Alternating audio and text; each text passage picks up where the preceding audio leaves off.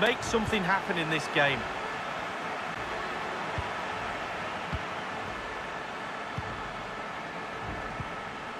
David Beckham. Deserves credit for winning the ball back.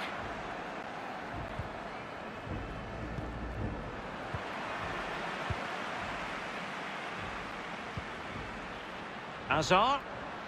Chances on.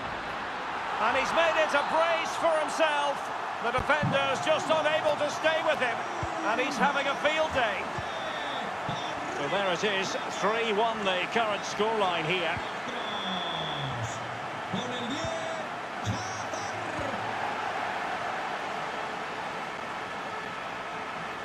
In with a chance. And a goal to seal the hat-trick. A masterclass in finishing. Just can't stop.